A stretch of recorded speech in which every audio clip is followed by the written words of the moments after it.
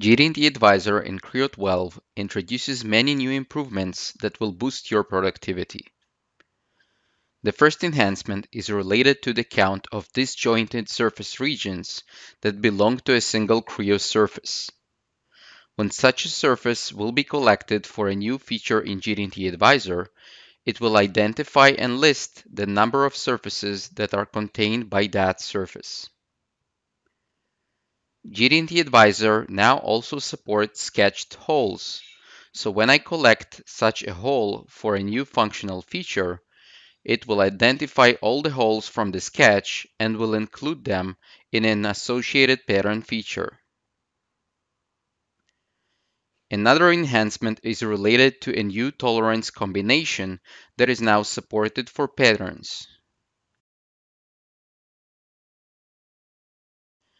In this case, the yellow color indicates to me that it is not enough to constrain only the position and orientation of the pattern, but I actually also need to constrain its form.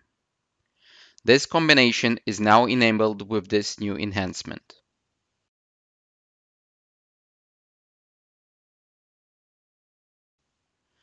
Finally, we also added support to new reference selection methods for annotations.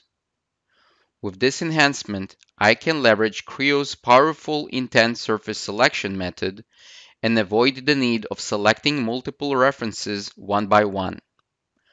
This selection is associative to the design intent, so if changes will be made to the model, the intent object will update in Creo and the same will be also propagated to the functional feature in GD&T Advisor.